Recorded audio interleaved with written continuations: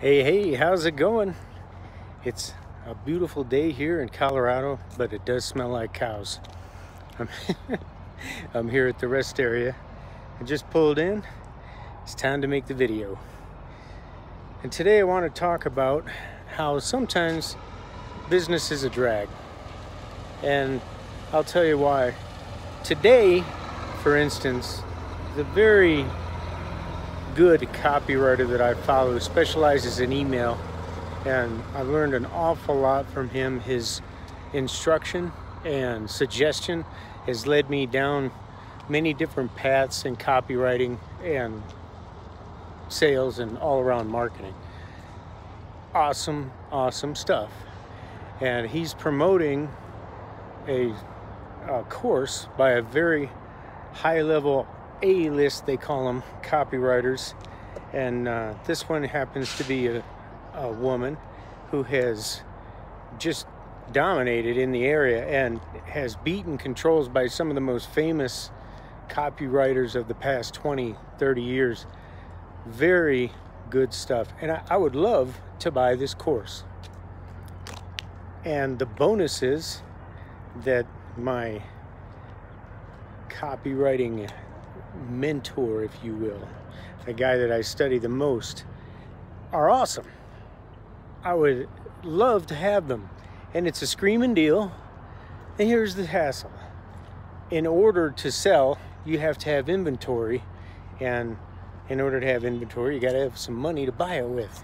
So I have, I'm faced with this quandary.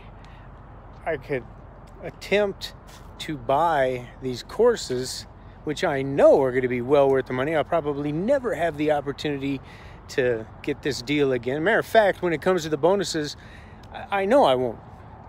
And it's a bummer, but always you have to consider making money, making sales, making your marketing happen so that you can bring in revenue and continue in business. If for instance, someone makes the wrong choice, in this case, buys the courses, this puts you in the hole a thousand dollars or whatever it comes out to be. And now, if you don't have the inventory or whatever it is you have to sell, if you don't have the money to advertise and everything, you're not bringing more people in. You're not bringing more people in. You're not making any sales. Not making any sales. You're not making any money.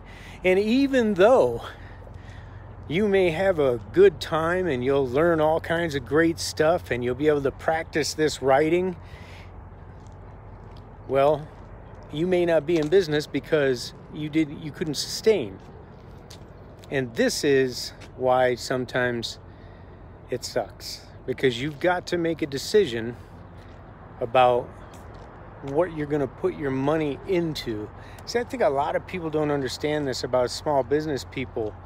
The it's it's like my buddy told me, Alan. He says, Dave, it's the same dance, just different numbers. It it's you may look at, oh, this guy's bringing in all this money, but you don't see the outgo, the overhead, all these things you got to pay for. And sometimes you've got to make a decision that is a clear choice between something that's going to sustain the business and keep you around or something you just want.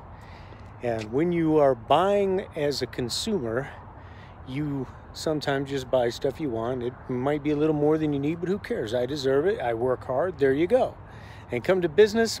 No, absolutely not. If you have that attitude in business, you're going to go broke so fast it won't even be funny. Because you'll be looking at, well, I could get this screaming new iMac with all the bells and whistles, and it's got this cool little thing going on here and all kinds of programs, and it costs you know, almost $3,000. Or you bite the bullet and you buy what you need, which is a MacBook Air, cost you $1,000, get everything done that you need done, and it will make you money cheaper. So you want to pay as little as possible to buy your profit. And that might sound weird, but that's how it works. You you pay less, you increase your margin, you bring in more profit faster. That's how things go. So here's the deal. If you got a decision to make, and it comes between something that's going to bring more customers in and make you more money, that always comes first. That's all I got for today. I'll talk to you tomorrow. I'm out.